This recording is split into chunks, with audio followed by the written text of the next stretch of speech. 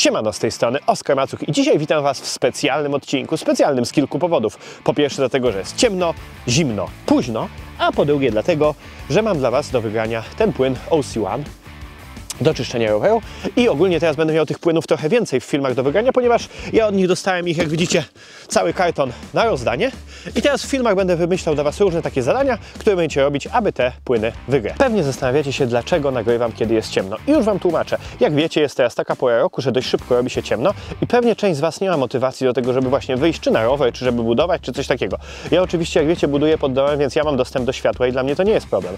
Ale chcę Wam powiedzieć, że przez ostatnie 10 lat, kiedy budowałem hopy w lesie i w różnych miejscach chodziłem w nocy, no, w nocy wieczorami z latarką i kopałem z ziomkami, żeby to wszystko funkcjonowało. Właśnie dlatego wymyśliłem taki ciekawy konkurs, myślę, w którym będziecie mogli pokazać właśnie, że sobie działacie, mimo tego, że nie ma do końca pogody. I jedyną rzecz, którą musicie zrobić, żeby wygrać taki oto płyn OC1. Podesłać mi na Instagrama, którego macie tutaj, zdjęcie lub filmik, jak kopiecie właśnie wieczorami jakieś takie ciekawe przeszkody. I te, które są najciekawsze albo najbardziej takie, powiedzmy to, zmotywujące, ja będę nagradzał. Mój pomysł na ten odcinek jest taki, że przez dwie godziny będę bez przerwy pracował, kopał i zobaczę, ile mi się uda w ten sposób zrobić.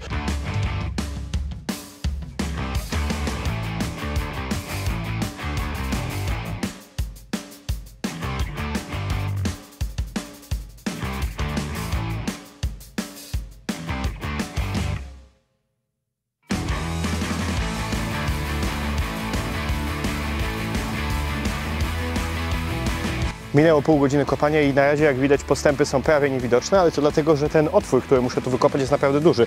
On ma 2 metry, gdzieś na 1,5 metra. Głębokości też muszę zrobić z metr, więc ogólnie tej ziemi jest bardzo dużo, ale to jest dopiero pół godziny, więc jeszcze spokojnie mogę cisnąć.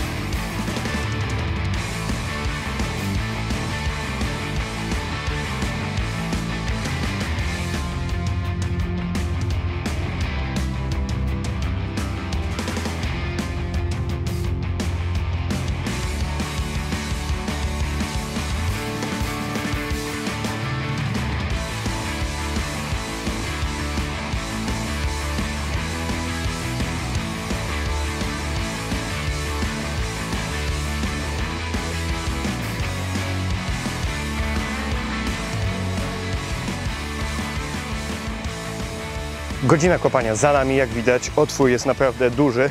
Nie wiem, czy to widać na filmie, ale powiem Wam, że tak szybko jak teraz kopałem, to chyba nie kopałem nigdy w życiu. I w godzinę wykopałem naprawdę kosmos, kosmos. Ogólnie jest mi tak gorąco, że w ogóle bez koszulki mógłbym ćwiczyć, mimo że na dworzu jak wyszedłem to było mega zimno. Więc to jest pierwsza sprawa, że jak dobrze pokopiecie, to naprawdę jest cieplutko i pogoda nie robi problemu. Pokażę Wam jeszcze z boku, jak to wygląda. Tak mocno nie widać, ale to naprawdę otwór tutaj jest kosmiczny. No ja tutaj mam Zobaczcie, ile mam wzrostu, jaki to jest głęboki. No jest potężnie.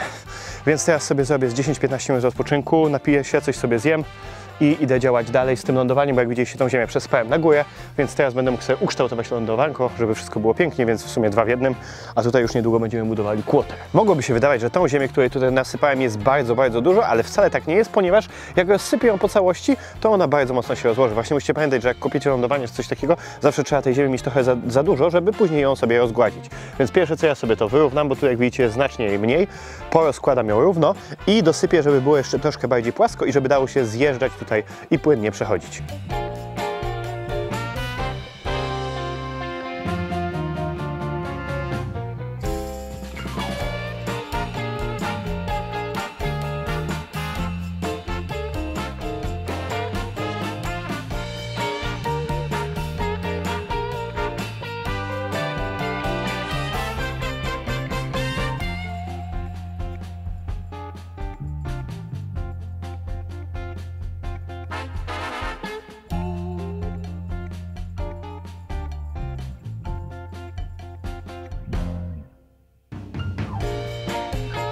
I skończyłem. Minęły dwie godziny. Muszę Wam powiedzieć, że ja jestem podjarany ilością rzeczy, którą zrobiłem, bo może nie wydaje się, że to jest tak bardzo dużo. Chociaż dajcie mi znać w komentarzu, bo ciekaw jestem, czy właśnie uważacie, że zrobiłem dużo jak na dwie godziny, czy mało.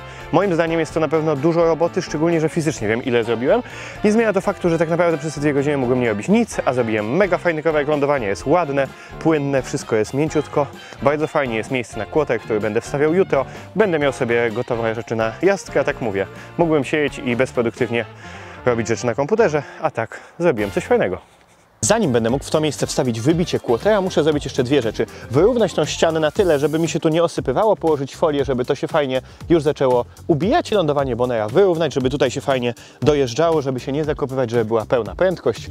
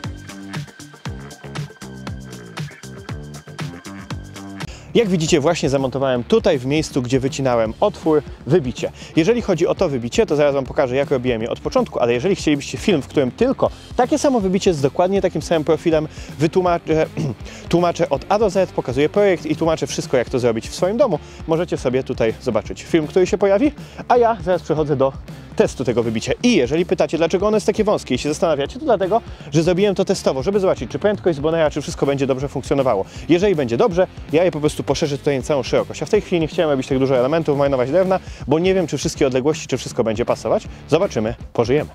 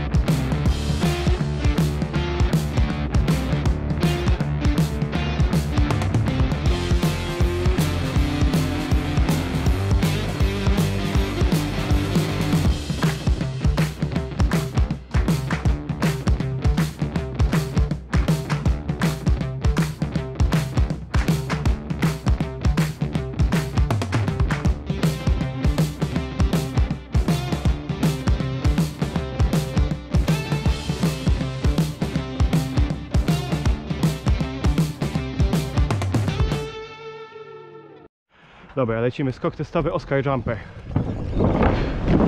Pyk. Czysto. Uhu. Dobra, pyk. 1,8. Lecimy. Uhu. Jo. 3,6. Jo. No hander. I by spin. Jest bardzo stromo, jak powinno być. Sprawia prędkość po tym bonerze jest taka niewielka, ale głównie chodziło mi o to, żebym szybko mógł wjechać na górę, żebym tej prędkości nie tracił. I jak najbardziej da się z tego sztuczkować. Zaraz spróbuję jeszcze jakąś sztuczkę może z bonera zrobić, bo nie wiem czy widzicie, ale boner jest po tuningu.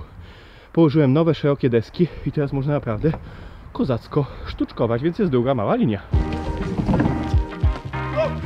O nie! Cały?